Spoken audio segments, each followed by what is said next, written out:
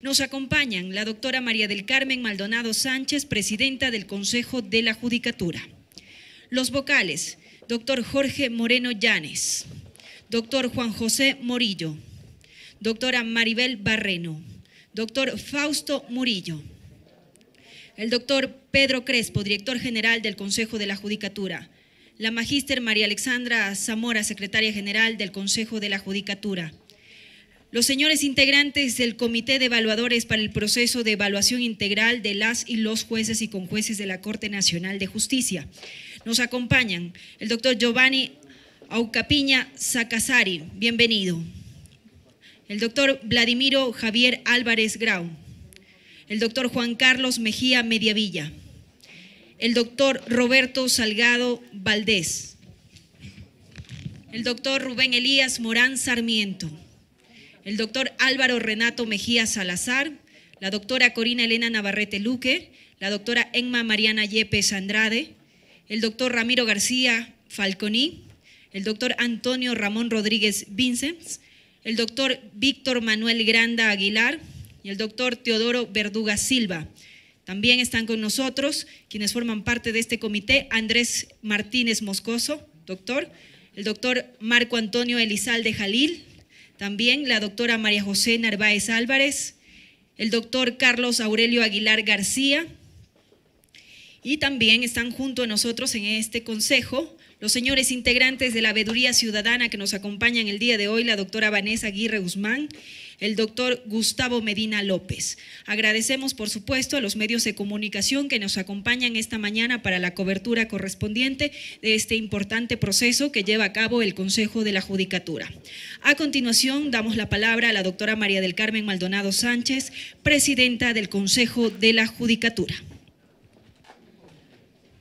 Muy buenos días, gracias a todas y a todos, gracias a los medios de comunicación que se han dado cita en esta importante mañana en la que el Consejo de la Judicatura anuncia al país un importante paso dentro del proceso de evaluación a las y los jueces y conjueces de la Corte Nacional de Justicia.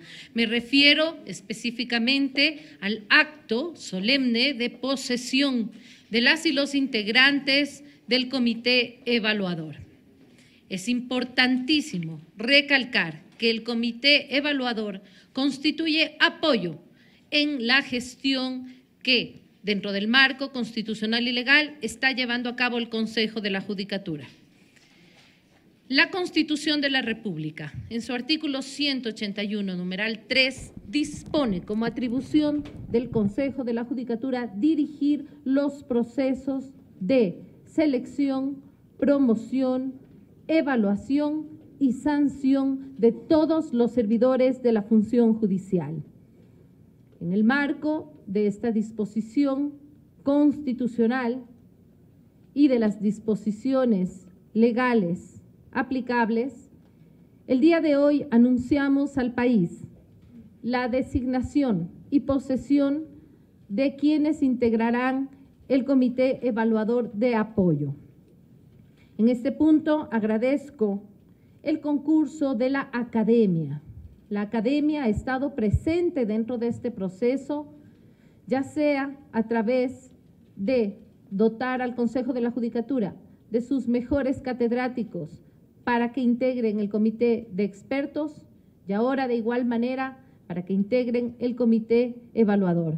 Gracias a la Pontificia Universidad Católica del Ecuador, a la Universidad de Cuenca, a la Universidad Andina Simón Bolívar, a la Universidad Católica Santiago de Guayaquil, a la Universidad Central del Ecuador y al Instituto de Altos Estudios Nacionales. Creemos que el aporte de la academia en este proceso es definitivo. De igual manera, en cumplimiento con la disposición del artículo 187 de la Constitución de la República, que nos dispone que en todos estos procesos contaremos con el debido control social y además conscientes, sensibles de la necesidad de incorporar el control social en un proceso de la trascendencia de este proceso que además sirve a la misma ciudadanía, hemos abierto la posibilidad de que también las organizaciones sociales presenten y postulen a abogados y abogadas juristas de trascendencia, de reconocida trayectoria. En ese sentido, agradecemos a las organizaciones sociales, Comisión Nacional Anticorrupción, Academia de Abogados, Asociación de Mujeres Abogadas del Ecuador Chimborazo, Asociación de Mujeres Juristas de Pichincha, Asociación Ecuatoriana de Radiodifusión y Asociación Independencia Judicial. Gracias al concurso de la Academia y de las organizaciones sociales, el Consejo de la Judicatura avanza en el proceso. Agradecemos también, como siempre, la presencia, el acompañamiento permanente de la veeduría ciudadana que el Consejo de Participación Ciudadana y Control Social Transitorio designó para este proceso. Gracias a la doctora Vanessa Aguirre Guzmán, que se encuentra aquí presente, y al doctor Gustavo Medina López, quienes se encuentran aquí presentes también. Agradecemos a los otros miembros de la Veeduría Ciudadana el abogado León Roldós, el doctor Teodoro Cuello y la doctora Alexandra Vela por su permanente acompañamiento al proceso y, por supuesto, por haber siempre desempeñado con rigurosidad su labor de observancia al mismo. En ese sentido, por favor, vamos a hacer unas breves precisiones previas al acto de posesión. En primer lugar, cabe indicar que el Consejo de la Judicatura es absolutamente competente para realizar el proceso de evaluación. Artículo 181, numeral 3.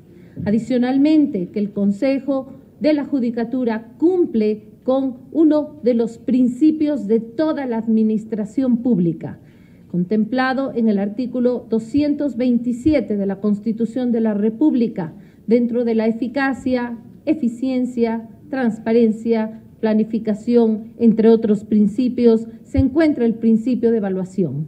Y es eso lo que estamos cumpliendo. Como ustedes saben perfectamente, a este proceso acompaña el marco constitucional y el marco legal para hacerlo. Adicionalmente también hemos desarrollado un riguroso proceso de acuerdo a la Constitución y al Código Orgánico de la Función Judicial hemos elaborado los parámetros de evaluación, los que han sido entregados al comité de expertos para su validación. Posteriormente han sido aprobados por el Pleno del organismo. De igual manera, en este momento vamos a proceder a la posesión de los miembros del comité evaluador que han sido ya designados mediante resolución del Pleno. En este sentido, y brevemente, solamente me quiero referir al proceso, cómo ha avanzado y cómo ha evolucionado hasta el día de hoy. La resolución 10 nos permitió entregar a la ciudadanía el reglamento para el proceso de evaluación de las y los jueces y conjueces de la Corte Nacional. La resolución 35 contiene el instructivo respectivo. La resolución 59 designa a los miembros del comité de expertos. La resolución 94 aprueba el informe final correspondiente a la metodología. La resolución 103 incorpora al control social dentro del proceso de evaluación integral y la resolución 116 nombra a los miembros del comité evaluador. Comité evaluador que además de haber sido designado por sus credenciales, por su notoria probidad, por su reconocida trayectoria. Además de eso, decía, han sido designados en virtud de su especialidad. Es importante conservar y recuperar la especialidad en la función judicial como uno de los mecanismos de lograr eficacia y eficiencia. Por lo tanto, cada uno de ustedes ha sido seleccionado en virtud de su formación su experiencia, su experticia en un área determinada respecto a una materia determinada de las salas de la Corte Nacional. Con esas precisiones, doy la palabra en este momento al vocal Juan José Morillo, quien ha sido designado por el Pleno del organismo como el vocal responsable del seguimiento del proceso. Gracias. Gracias, señora presidenta, señores vocales, señora vocal, señores eh, eh, miembros del comité evaluador, señores veedores, señores funcionarios del Consejo de la Judicatura. El día de hoy, el Consejo de la Judicatura da un paso de los más importantes del proceso, dentro del proceso de evaluación. Este proceso no ha sido fácil. Este proceso ha llevado una serie de decisiones por parte del Pleno del Consejo de la Judicatura, conforme lo ha manifestado la señora Presidenta. Hemos tenido que levantar información, información que no estaba determinada de una forma adecuada dentro de la Administración de Justicia. En ese sentido, para hacer una evaluación totalmente responsable, tuvimos que conformar equipos de trabajo multidisciplinarios para levantar la información y realizar esta evaluación de manera técnica y objetiva.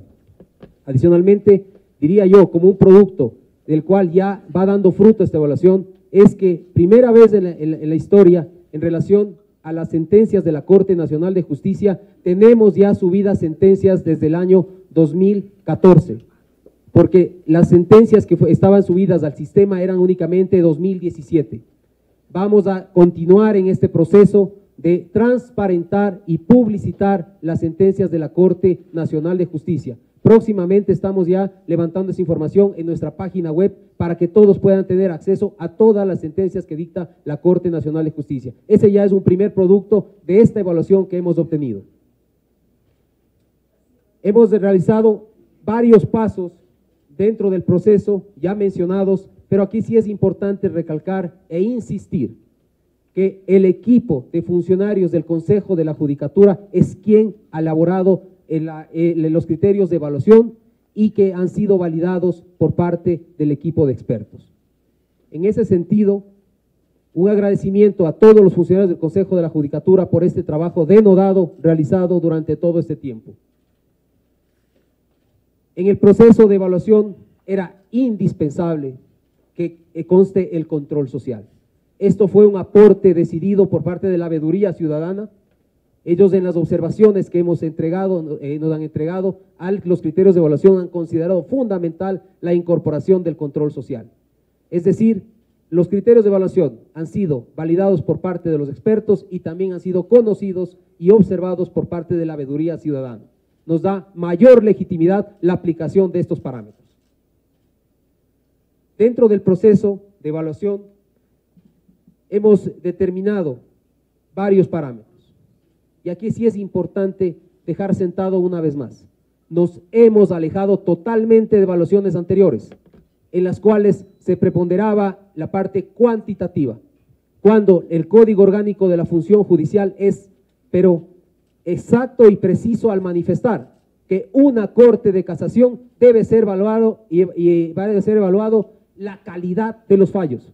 Eso establece la disposición undécima del Código Orgánico de la Función Judicial, porque es una Corte de Casación. En ese sentido, este Pleno del Consejo de la Judicatura ha decidido que la parte cualitativa es la más importante dentro de la parte de evaluación. Tenemos también la parte cuantitativa. También es importante. Ahí se han incorporado parámetros muy decidores. Además de la productividad que era tradicional, la asistencia a las audiencias los señores magistrados deben cumplir con su labor y con su papel. No más audiencias fallidas. Adicionalmente, en ese sentido, se han incorporado también audiencias al Pleno. El Pleno de la Corte Nacional debe reunirse y es obligación legal y constitucional para establecer los fallos de triple reiteración. Vamos a verificar si se está cumpliendo con esa disposición constitucional y legal. Adicionalmente, se ha establecido eh, la, valoración de criterios. Dos sentidos. Para esto, desde ya, invito y a los medios de comunicación se, se replique esta información. Desde el 22 de julio, lunes 22, hasta el 26, se abrirá en el portal de la página del Consejo de la Judicatura un link en el que las organizaciones sociales, las escuelas, las escuelas de derecho, las universidades, los, los colegios profesionales y toda entidad relacionada con el derecho puedan ingresar los fallos contradictorios que se han dictado durante el proceso 2014-2018, adicionalmente, sentencias que las cuales deban ser y ameriten ser analizadas dentro del proceso. Así que invito desde ya a la ciudadanía, a todos los, organismos del país, que se pronuncien y se aperture esto como parte del control social en la página web del Consejo de la Judicatura. Del 22 al 26 de julio estará abierto este link. Esto se tomará parte para las sentencias que van a ser analizadas. Y desde ya, por esto hemos adoptado el mecanismo de incorporar a los mejores profesionales y agradecemos una vez más a ustedes por estar en este momento histórico apoyando este proceso de evaluación, en las cuales se evaluarán tres sentencias por año de evaluación, es decir, de la cual una corresponderá a lo que se incorpore y se ingrese dentro de este link del 22 al 26 de julio. Son tres sentencias que se realizarán desde eh, en relación a los parámetros establecidos. Tres por año, tres por año de evaluación, así es. En este sentido, la otra parte de la, evaluación cualitativa consta la sustentación de conocimientos. Ya serán notificados oportunamente los evaluados en relación a este parámetro en la cual se les convocará. Y cada uno de ustedes como evaluadores, en conjunto con los miembros del Consejo de la Judicatura, estaremos presentes en el momento de ese eh, de esa evaluación. Adicionalmente, hemos considerado como fundamental y trascendental porque esta evaluación es integral los parámetros en relación a la legitimidad, en relación a la transparencia y cumplimiento de normativa interna. Estos parámetros están eh, desglosados y desarrollados ya en la metodología que se les ha entregado a cada uno de ustedes en los correos electrónicos y aquí vale mencionar, para no abundar más en el tema, de que iniciaremos inmediatamente, señores evaluadores, una capacitación respecto a una inducción respecto a la aplicación de los criterios que han sido aprobados por el Pleno de este Consejo de la Judicatura.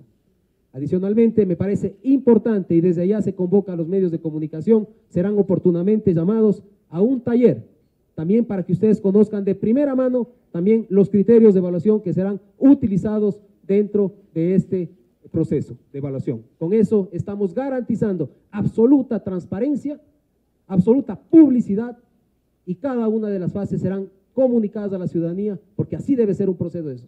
Transparente, no tenemos nada que ocultar, señores. Somos un consejo de la judicatura totalmente decidido a cambiar la justicia en el país. Muchas gracias, señora presidenta.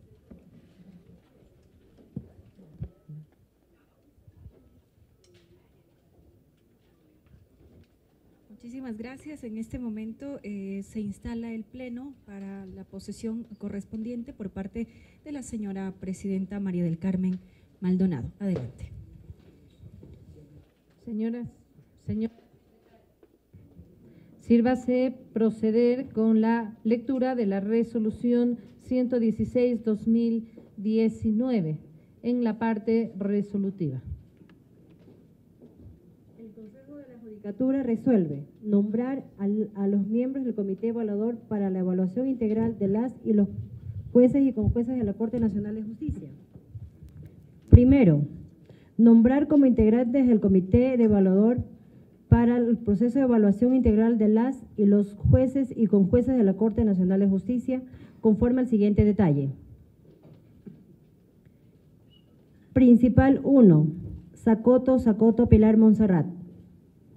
Principal 2, Sacasari Aucapiña Giovanni. Principal 3, Álvarez Grau Vladimiro Javier. Principal 4, Mejía Mediavilla Juan Carlos. Principal 5, Salgado Valdés Roberto. Principal 6, Morán Sarmiento Rubén Elías. Principal 7, Mejía Salazar Álvaro Renato. Principal 8, Navarrete Luco, Luque Corina Elena. Principal 9, Yepes Andrade Emma Mariana. Principal 10, García Falconí Ramiro José. Principal 11, Rodríguez Vincent Antonio Ramón. Principal 12, Granda Aguilar Víctor Manuel. Principal 13, Verdugo Silva Teodoro. Artículo 2. nombrar como suplente a los integrantes del Comité de Evaluadores para el proceso de evaluación integral de las y los jueces y conjueces de la Corte Nacional de Justicia conforme al siguiente detalle. Suplente 1, Martínez Moscoso Andrés. Suplente 2, Elizalde Jalil Marco Antonio. Suplente 3, eh, Monesterolo Leon, Lencioni Adrián Inés. Suplente 4, Narváez Álvarez María José. Suplente 5, Aguilar García Carlos Aurelio. Suplente 6, Galán Melo Gabriel Santiago. Suplente 7, de la pared Darquea Johnny Dagoberto. Suplente 8, Castro Orbe Rubén Darío. Hasta ahí, señora presidenta. Gracias, señora secretaria. A continuación, eh, pedimos, por favor, eh, las palabras de la señora presidenta sobre la promesa solemne ya de posesión de quienes conformarán este importante comité. Pedimos, por favor, ponerse de pie.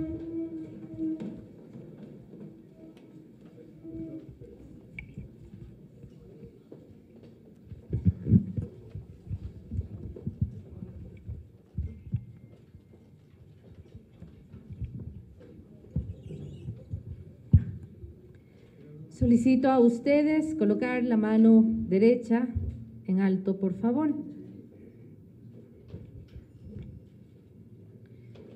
Señoras y señores, miembros del Comité Evaluador de Apoyo al Proceso de Evaluación a las y los jueces y conjueces de la Corte Nacional de Justicia que lleva a cabo este Consejo de la Judicatura.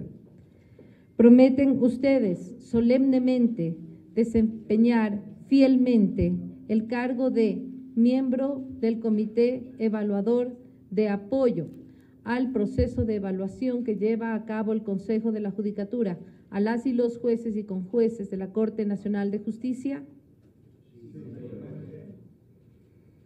Si así lo hacen, la sociedad los reconocerá. De lo contrario, que ella os demande. Quedan formalmente posesionados.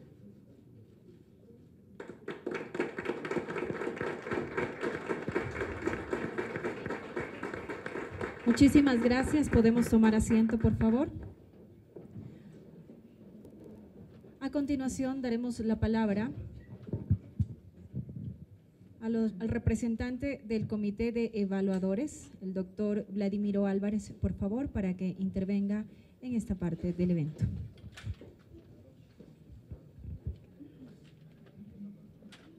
Doctora María del Carmen Maldonado, doctora María del Carmen Maldonado, presidenta del Consejo Nacional de la Judicatura, distinguidos funcionarios de dicho consejo, estimados colegas y miembros del comité evaluador de los magistrados de la Corte Nacional de Justicia. Considero que la misión que vamos a cumplir como comité evaluador es sumamente importante para recuperar la confiabilidad que la ciudadanía en general tenga en el sistema judicial y en la administración de justicia como parte de una función que debe ser independiente, que debe ser autónoma y que debe emitir sus fallos con apego absoluto a la verdad y a las normas legales, los procedimientos establecidos. Y como he comentado en algunas oportunidades y no me canso de decirlo, es importante esa evaluación porque la verdad, mis queridos amigos, la verdad se la busca hasta que se la encuentra o lo que se está buscando no es la verdad. Y en este proceso de evaluación creo que es fundamental destacar que no es nuestra misión revisar el fondo de las sentencias que hayan expedido los magistrados de la Corte Nacional de Justicia. El fondo del tema las controversias que hayan sido resueltas no serán superadas, no serán modificadas por este comité evaluador. El comité va a ser, de acuerdo con el reglamento establecido y por la metodología aprobada por el Consejo de la Judicatura, va a ser sobre niveles cualitativos y cuantitativos y respecto a la transparencia de quienes han ejercido y ejercen la función de la más alta magistratura del Estado a nivel judicial. Y en esto no caben persecuciones, no caben venganzas, no caben temores, no caben en un momento determinado presiones de ninguna naturaleza. Y de eso puede estar segura la ciudadanía y pueden estar seguros los magistrados de la Corte que van a ser evaluados. Con eso creo que hemos compartido criterios con los miembros del comité evaluador y tengan la seguridad de que lo vamos a cumplir. Gracias. Muchísimas gracias. Las palabras del representante del Comité de Evaluadores, el doctor Vladimiro Álvarez. A continuación, vamos a empezar con la entrega de certificados de reconocimiento al Comité Evaluador por parte del Pleno del Consejo de la Judicatura. Nuestro equipo de protocolo está listo para la respectiva entrega. Invitamos al doctor Giovanni Aucapiña Sacasari, por favor, que nos acompañe. También a nuestros señores vocales.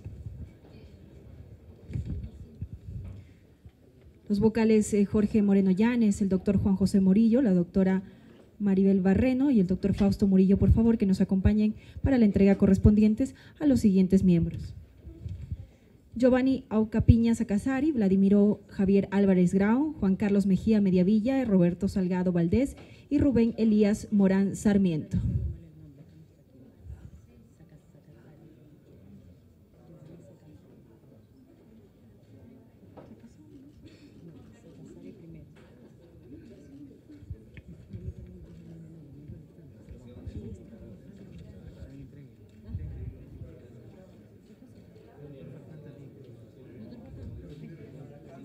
Muchísimas gracias. Invitamos, por favor, también al representante de la Escuela Judicial que nos acompañen.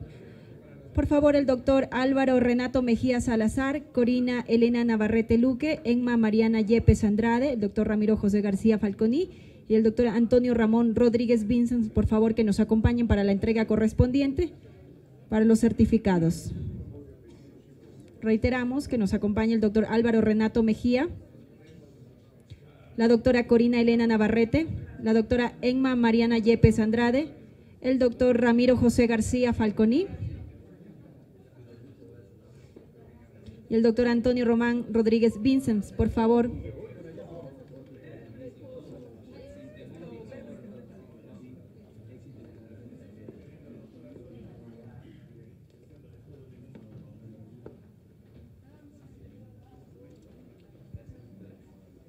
Muchísimas gracias. Invitamos a continuación al doctor Víctor Manuel Granda Aguilar, al doctor Teodoro Verduga Silva, por favor, que nos acompañen, al doctor Andrés Martínez Moscoso, al doctor Marco Antonio Elizalde Jalil, por favor, a la doctora María José Narváez Álvarez y al doctor Carlos Aurelio Aguilar García, por favor.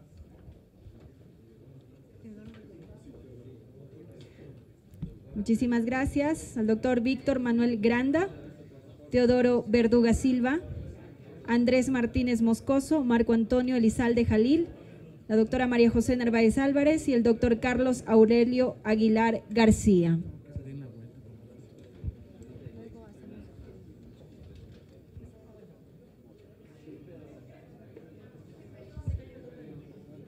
Muchísimas gracias. Pueden tomar asiento, por favor, la señora presidenta y los señores vocales y quienes nos acompañan.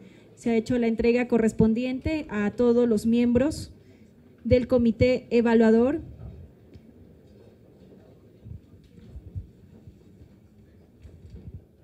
Damos la palabra nuevamente a la señora presidenta María del Carmen Maldonado, presidenta del Consejo de la Judicatura, para el cierre correspondiente de este acto importante que representa de gran trascendencia para el país en el ámbito de la justicia. Gracias. Nuevamente vamos a recoger las palabras del doctor Vladimiro Álvarez. Este es un proceso altamente metodológico.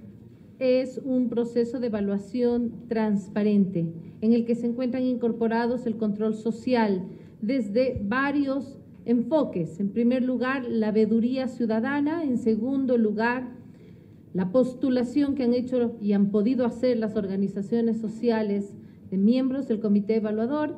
Y en tercer lugar, desde la posibilidad de que los ciudadanos den a conocer al Consejo de la Judicatura los posibles fallos contradictorios emitidos por un mismo juzgador bajo un mismo punto del derecho. Es importante aclarar que es un proceso serio, que no es un proceso de persecución, sino de evaluación.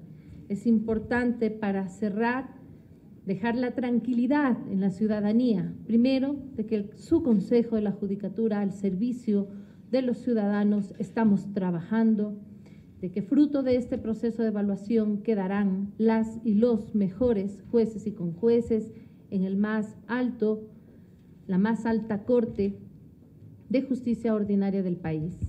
Y también tengan ustedes, ciudadanos, la confianza y la tranquilidad de que al ser un proceso serio, de que al no revisar el sentido de la decisión judicial, porque no es materia de esta evaluación, ni revisar el sentido de la decisión judicial, ni tampoco represalias a posibles medidas jurisdiccionales, nosotros estamos trabajando por llevar un proceso serio. Invitamos a toda la ciudadanía a que tengamos un debate político y jurídico maduro en términos elevados que permitan la construcción de una mejor sociedad.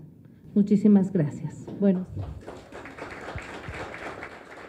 Muchísimas gracias. De esta manera culmina el acto de posesión del comité evaluador.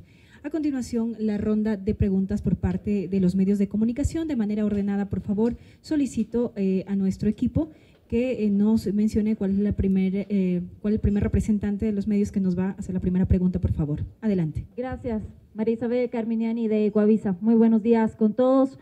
Mi presidenta, mi presidenta, mi pregunta para la presidenta y quería consultarle qué opina acerca de estos cuestionamientos, de estas críticas que ha habido, que han existido de parte de la Corte Nacional de Justicia, la metodología de evaluación que se va a aplicar. Se ha, dicho o han manifestado que atenta contra los derechos de los magistrados. Gracias, María Isabel. Su pregunta. Tal como lo he manifestado, la Constitución nos manda en el artículo 181, numeral 3, a dirigir el proceso de evaluación y estamos cumpliendo con la ciudadanía. La Constitución nos manda en el artículo 181, numeral 5, velar por la transparencia de la función judicial y por esa razón se ha incorporado el parámetro de transparencia. Vale indicar también que los parámetros de legitimidad y transparencia se enmarcarán de acuerdo al artículo 109 del Código Orgánico de la Función Judicial, sistema y control disciplinario sistema y control disciplinario que está vigente desde el año 2015, que nosotros no hemos entrado a modificar absolutamente nada y que por lo tanto, fruto de un sistema disciplinario llevado con el debido proceso, se tendrán las sanciones debidas y fruto de un proceso de evaluación se tendrán las consecuencias previstas en la ley y en la Constitución. Pregunta, por favor. Gracias, eh, autoridades, eh, miembros eh, que han sido posesionados. Quisiéramos conocer, bueno, el trabajo y empieza desde hoy, me imagino, pero ¿cuándo ya se podrá tener los resultados de esta evaluación? si no me equivoco, son sobre 100 puntos la mínima calificación que tendrán que obtener los jueces y con jueces cuál va a ser y aquellos eh, que no pasen esa mínima calificación, ¿qué va a pasar con ellos? ¿Tendrán otra oportunidad o inmediatamente serán separados y cómo van a ser reemplazados? Gracias. El Consejo de la Judicatura aprobó un cronograma que nos encontramos en plena ejecución. El cronograma estableció, como en principio se dijo a los medios de comunicación, en el mes de septiembre ese es, como todo cronograma, es una fecha tentativa, es una fecha preliminar en el camino pueden darse algunas circunstancias no previstas que puedan modificar eh, de alguna u otra manera el cronograma, sin embargo nosotros esperamos que este se cumpla a cabalidad. En efecto, la nota máxima a obtener, mínima, perdón, es de 80 puntos sobre 100, sobre un máximo de 100 puntos. Y eh, el sistema que nosotros utilizamos, como saben perfectamente, es, eh, por un lado, la, el análisis y la evaluación de los métodos eh, cualitativos y cuantitativos disgregados en criterios y por otro lado los parámetros de legitimidad y transparencia. Importante precisar que los parámetros de legitimidad y transparencia no son cuantificables. No vamos a evaluar con puntaje estos parámetros, sino que estos ingresan al sistema de control disciplinario establecido en el artículo 109 del Código Orgánico de la Función Judicial, faltas gravísimas. Y este es un proceso que el Consejo de la Judicatura está obligado a hacerlo permanentemente revisar la transparencia, es un proceso que el, propio Código Orgánico y la Constitución nos lo exige y lo vamos a hacer ahora justamente con motivo también de la evaluación. Cabe indicar que en procesos disciplinarios hemos encontrado alrededor de 570 trámites, muchos de ellos a punto de prescribir sin atención en control disciplinario y hemos evacuado ya el 70% de ellos y nos encontramos en ese proceso.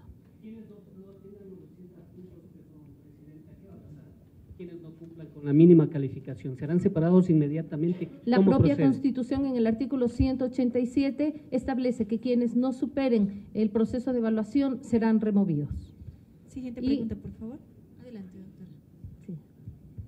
Autoridades, buenos días. Karen Aro de TC Televisión. Eh, bueno, yo solamente quiero saber cuál sería el peso que en realidad van a tener estas denuncias, por así decirlas, si ustedes reciben del 23 al 26 de julio de las sentencias que sean contradictorias. ¿Tendrán algún peso importante dentro de la evaluación que se va a ejecutar? Y si son tres por cada uno de los jueces las sentencias que se van a revisar, por favor.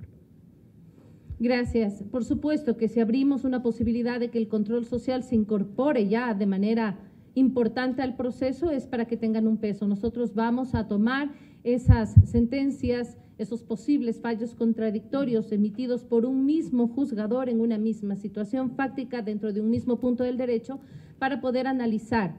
Eh, como ustedes saben, también dentro de los parámetros cualitativos tenemos el análisis de la motivación, el test de motivación que incluye la razonabilidad, la lógica y la comprensibilidad, así como la sustentación oral de un fallo, sumando un total de 100 eh, puntos. Siguiente pregunta, por favor. Solo, una particular, Sí, solo una particularidad en este tema es de que las sentencias y los fallos contradictorios eh, están dentro del ámbito de deméritos. Hay méritos y de deméritos. Los deméritos pueden llegar hasta ocho puntos menos, entonces ahí son considerados, eso es lo que tiene puntaje de, respecto a los, a, los a los fallos contradictorios. días, María Gracia Costa, Teleamazonas. Por favor, la primera pregunta sería, ¿desde cuándo van a empezar a trabajar? ¿Cuál va a ser la modalidad de trabajo que van a tener en esta comisión? Es decir, ¿cuántas veces a la semana se reunirán? ¿De qué manera realizarán la evaluación? Y además, ¿cuál es el procedimiento después? Ustedes entregan un informe al Consejo de la Judicatura, el Consejo de la Judicatura después en sesión de pleno define respecto a estas calificaciones. Gracias. Gracias, María Gracia. El trabajo de los evaluadores será concomitante a sus funciones y a sus acciones que llevan desarrollando diariamente. Por lo tanto, lo que requiere el Consejo de la Judicatura es la entrega de un producto que contenga el análisis de las sentencias en cuanto a los criterios cualitativos que se han solicitado. Pregunta, por favor.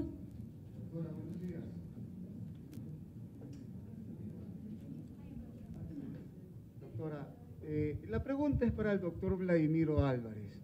Doctor, quisiera saber si es que los 21 jueces de la Corte Nacional de Justicia entran prejuzgados por la comisión. Buenos días. De ninguna manera. Los 21 magistrados de la Corte Suprema de, la Corte Nacional de Justicia no van a ser prejuzgados, van a ser evaluados de acuerdo a su desempeño o al desempeño que han tenido en el periodo que el Consejo Nacional de la Judicatura ha señalado. Y obviamente esto va a estar sujeto a una metodología muy estricta que no permita un tipo de evaluación personal, un tipo de desquite de resentimientos, como algunos han mencionado, un tipo de venganzas o de odios de unos contra otros, de ninguna manera.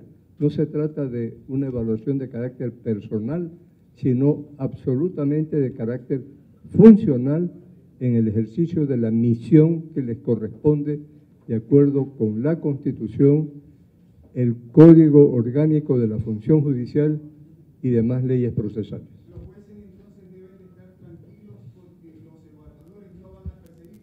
Definitivamente, tienen que estar tranquilos esperando que realmente la evaluación responda a criterios absolutamente objetivos y no subjetivos. Muchísimas gracias a los medios de comunicación por su cobertura. Agradecemos la presencia de cada uno de ustedes y la difusión correspondiente. Pedimos por favor a los evaluadores mantenerse un momento, por favor, aún en la sala.